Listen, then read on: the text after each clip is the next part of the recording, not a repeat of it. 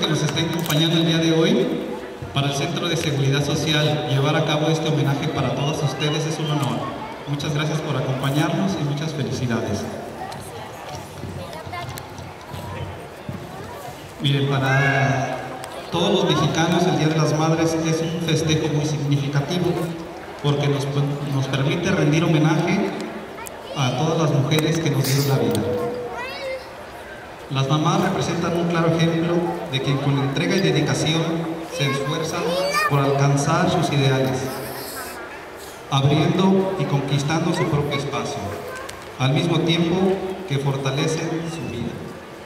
Muchas gracias por estarnos acompañando y ojalá que disfruten este evento que con mucho gusto todos nuestros compañeros han organizado para que ustedes lo disfruten. Muchas felicidades y sean bienvenidas todas. Gracias.